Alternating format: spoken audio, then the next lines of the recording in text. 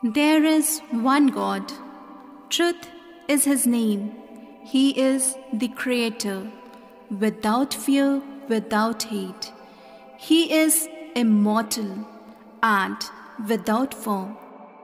He is beyond birth and death and the Enlightened One. He can be known as the Guru Grace, mediated on the name.